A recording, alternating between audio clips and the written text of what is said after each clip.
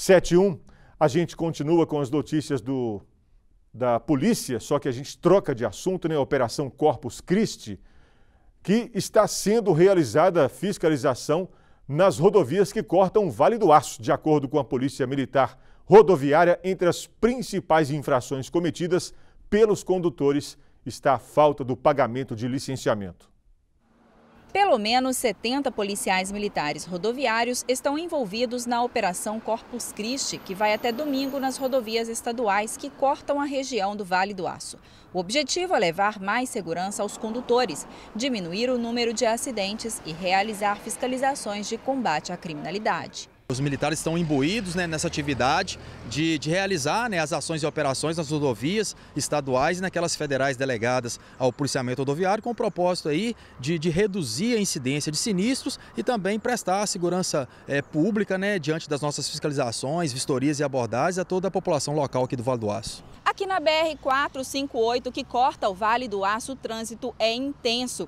Os destinos mais procurados pelos viajantes são sítios, pousadas e o interior capixaba. As infrações mais corriqueiras registradas pela Polícia Militar Rodoviária ainda continuam sendo veículo em mau estado de conservação, falta do licenciamento e o uso do celular ao volante. Até o fim da manhã desta quinta-feira, 14 veículos, entre carros e motos, haviam sido removidos ao pátio credenciado por falta de documentação, de acordo com a Polícia Militar Rodoviária.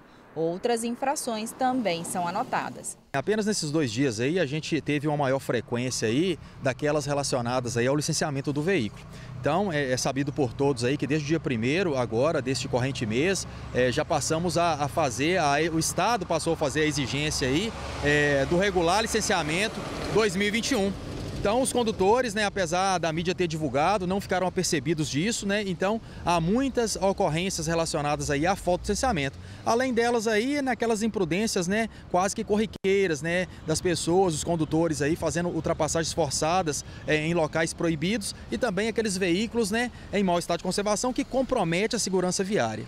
Durante a operação, documentos do motorista e do veículo são checados. O estado de conservação do carro ou motos é verificado.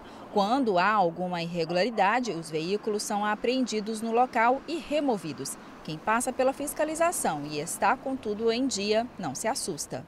Devido à responsabilidade de muitas pessoas e motoristas que trafegam essa via, é importante a polícia estar presente para proporcionar segurança para a gente, né? É muito importante. Eu acho interessante para né, segurança do, das pessoas na estrada, averiguar a gente que já está saindo para ver se o carro está ok, está tudo em dias, evitar acidente, né?